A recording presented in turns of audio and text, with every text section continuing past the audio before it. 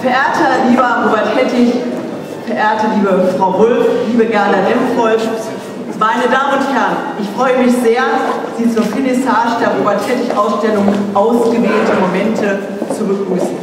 Der gesamte Erlös dieser Versteigerung geht an die Stiftung Eine Chance für Kinder. Die Stiftung, deren Schirmherrin Bettina Wulff ist, ich begrüße Sie hier nochmal ganz herzlich,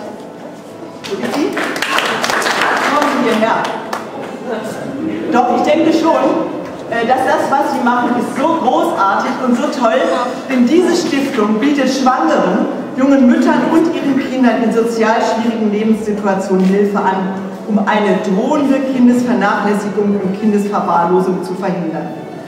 Meine Damen und Herren, diese Stiftung leistet unglaublich wichtige Arbeit für die Schwächsten in unserer Gesellschaft, für unsere Kinder. Wenn die Stiftung es schafft, dass es weniger verwahrloste Kinder gibt, die vergessen wurden von der Gesellschaft, ich denke, dann hat sie einen verdammt guten Dienst geleistet.